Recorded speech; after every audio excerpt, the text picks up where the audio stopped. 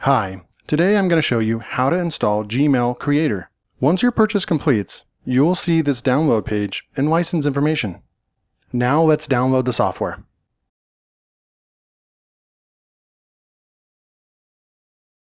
Once download completes, open the downloaded folder and unzip the zip file here. You may need to download WinRAR to open this zip file.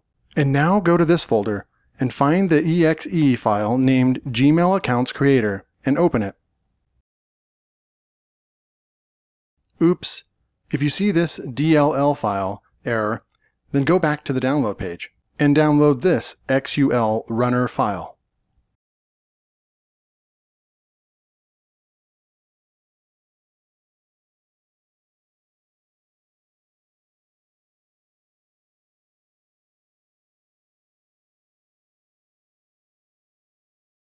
When completes, unzip the files here.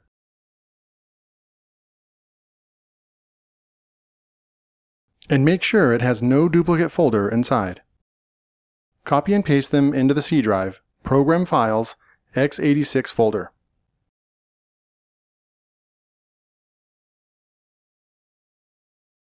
Go back to Download folder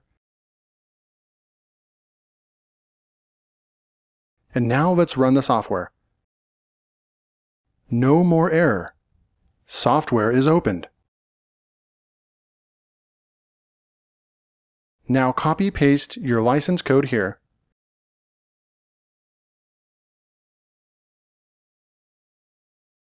And your name and email here.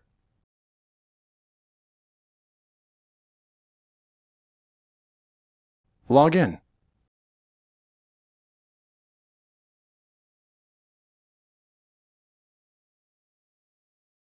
Now the software is ready to go. Enjoy your software and feel free to contact our live chat or email support for any help.